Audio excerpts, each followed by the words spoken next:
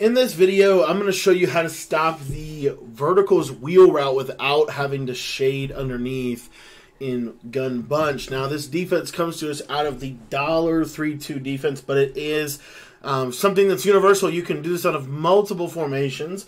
If you want to get my full dollar three two defensive ebook, make sure that you join our Patreon. Uh, the link to do that is in the description. We're going to be revamping that ebook the next couple of days. And Patreon members get access to not only all of the ebooks we already have, but all the updates to those ebooks and any new ebooks that we release as well. So if you want to get signed up for that, the link is in the description. So in your coaching adjustments, you're going to want to put your auto alignment to base um, in the 46 playbook, and we're going to come out in the play spinner.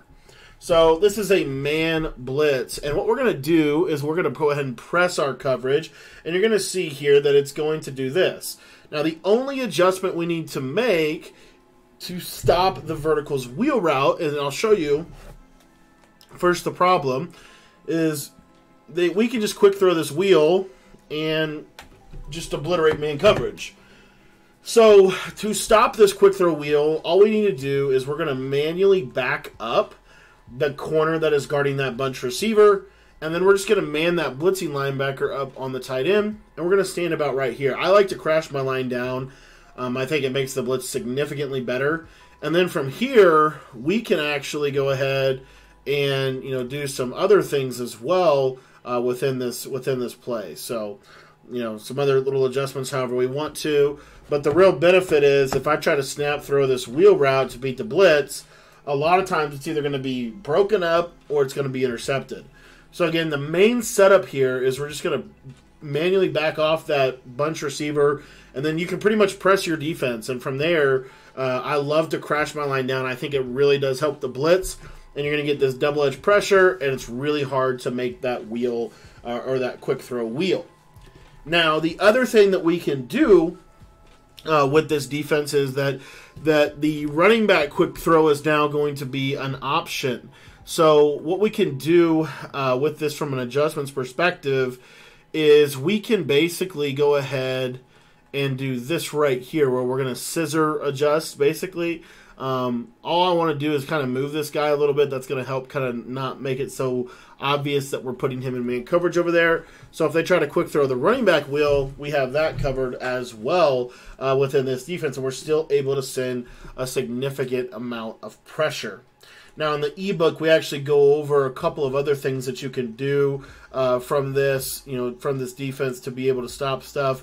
You know, I think the actual, you know, act of just taking the safety here and letting him, you know, kind of rob over the middle or whatever is just fine. Another simple adjustment is a hard flat, um, or to, of course, go ahead and just man him up over there. Now, another one of my favorite adjustments is to do some variation of this right here, where we're going to have a hard flat that's going to shoot out against the tight end quick. Then we're going to have that tight end crossman with a safety. And then if the running back stays in the block, you'll notice that dollar's so good, a lot of times you'll get somebody free off the right side um, as well. This is what makes this defense so uh, so so powerful in my opinion. Uh, so again, here you're going to see, you know, if we wanted to maybe do an adjustment that looks kind of like this, where we're dropping that coverage, extra coverage to help the tight end. Now all we have to do is if the running back stays in the block, we're just going to lurk in the middle of the field, and you see how good of a blitz the dollar is.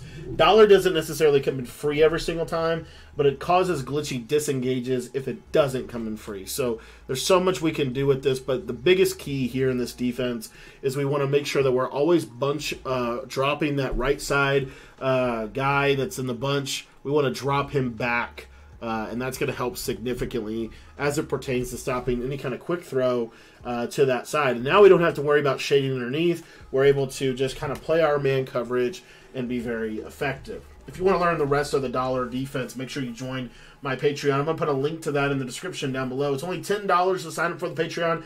Gets you access to all of my Madden 23 offensive and defensive ebooks, as well as any updates or revamps. We're dropping a brand new ebook there this week for you guys as well. So make sure you're in the Patreon if you want to check all that stuff out. Head down to the description below if you want to sign up for the Patreon. The link is down below. Thanks for watching, and we hope to see you over at the Patreon page.